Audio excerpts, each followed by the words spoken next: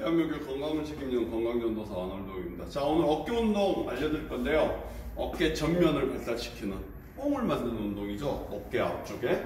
자 어, 이지발을 가지고 할 겁니다. 이지발을 세 가지 버전을 할 건데요. 첫 번째, 첫 번째는 여기서 팔을 핀 상태에서 다리를 모으고 어깨를 딱 고립시킨 상태에서 어깨 높이까지만 올렸다 내렸다. 이게 첫 번째고요.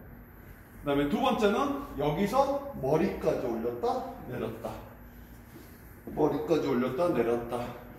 머리까지 올렸다 내렸다. 세 번째는 어깨에서 가슴까지만 움직이는 짧게 하는 거. 자, 그러면 제가 이거를 멀티로 한번 다섯 개, 다섯 개, 다섯 개를 해볼게요.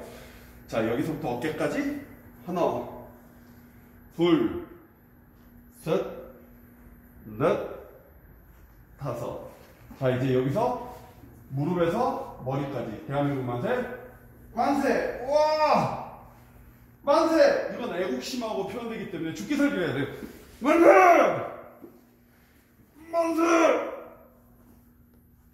만세! 자, 이제 마지막 어깨에서 가슴까지. 이건 고립 운동이에요.